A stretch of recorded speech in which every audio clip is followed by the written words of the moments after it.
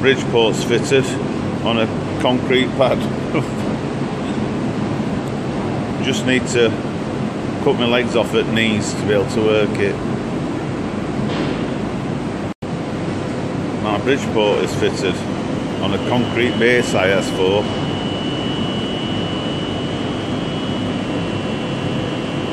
Just need to cut my legs off at the knees to be able to get to work it alright. All the Bridgeport's got a new home. I asked for it to be set in concrete base.